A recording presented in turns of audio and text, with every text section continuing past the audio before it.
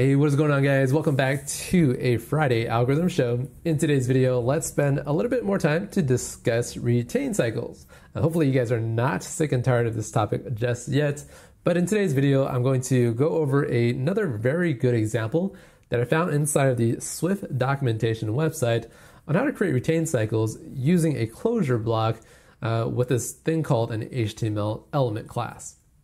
So right now, I'm going to show you exactly what this example looks like inside of Playgrounds. So first, the thing to do is to actually create this HTML element class, which has two properties on it. The first of which is this name guy, which is a string. And let's also include this text string property.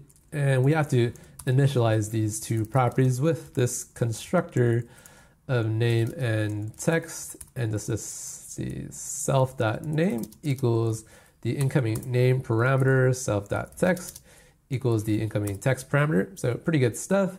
Now what we need to do is to provide this deinitializer very similar to last week's retain cycle video. And inside of here, we'll print out uh, HTML element. Let's get the name out of the instance and just say is being deallocated. And so this method will be called every time we attempt to set this HTML instance to nil. All right. So with this class, let's first create our element that represents a paragraph tag inside of a standard HTML document, which kind of looks like this variable paragraph. Let it be of type HTML element optional equals HTML element. And inside of here, let's give it the p tag like that, and then the text will be uh, some sample paragraph body text. So hopefully some of you guys are familiar with how HTML works. Basically a paragraph tag is symbolized by this p tag right there. Okay, now that we have a paragraph, I want to set it to this nil object, basically giving me back the memory that uh, it is allocated with. Now, in the console below, we have HTML element p is being deallocated, which means that the deinitializer is being called correctly. So pretty good stuff. Now let's move on to further fleshing out this HTML element class. And basically I want to be able to call some kind of method on paragraph called as HTML like this. And I wanted to print out what exactly the HTML tag looks like inside of a standard HTML document, which means that this will print out this right here, P, and then we will get the some sample paragraph body text, and then it is closed off by this ending p tag. So standard HTML syntax right here. Now the question is, how do I create this as HTML method call? So there's two ways of doing this, and the example in the documentation shows us a very, very good way of using a closure to create this method call. So instead of using a function, we will create this variable on it called as HTML and let it be of type closure, which returns a string property like that, or a string type. And instead of, let's see, inside of here, we'll set it equal to this closure block, which will return just the string of ABC for this example right now. And here we go. So what is wrong with this is that uh, paragraph right here needs to be called with this uh, question mark because it is optional type. And let's see what is being printed out. First, let's get some space down here. So as HTML is printing out ABC, which is represented by this uh, return value on line 13. So that's kind of how you declare a variable that can be also used as a method call like that. So in order to get this print statement of this p tag and the text inside of it, we will use the name and the text property inside of this HTML class itself.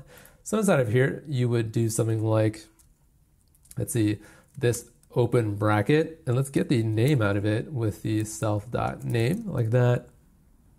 And then let's close the bracket, and then we will get the text out of it with self.text like so. And then we'll end it with this bracket style of the name property like that. So inside of these uh, closure blocks, you really need to call it with a self like that. Now, there's going to be a compiler error right here. And basically, you cannot call self inside of these uh, closure blocks unless you specify these variables as a lazy instance, allowing you to access self. So now let's see what happens here.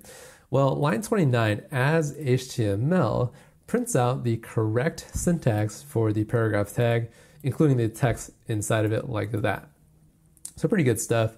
And when we execute line 31, however, uh, the paragraph setting it equal to nil, we no longer see the deinitializer being called inside of the console down here. We're expecting to see uh, HTML element P being deallocated, but it's not happening. And the question we have is, why isn't this working? What is going on with this closure block to cause this retain cycle right here?